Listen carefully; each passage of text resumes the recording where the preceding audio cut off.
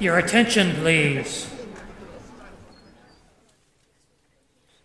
I've devoted my entire life to a singular quest against a daunting enemy sleep.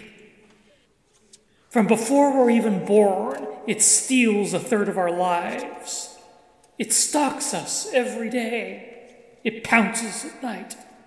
What glorious creatures we might be, were we not interrupted by drowsiness at the height of our creativity. So I say fight. Why fight something you can never defeat? Many have tried, and none of them have succeeded.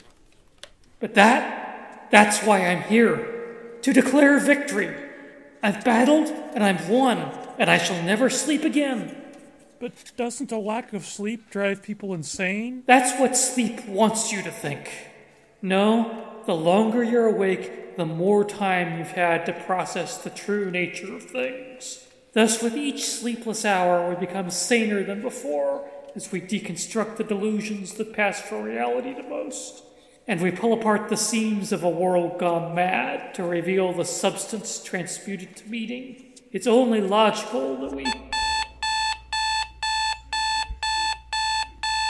Go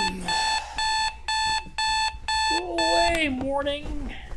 Just give me five more minutes of sleep.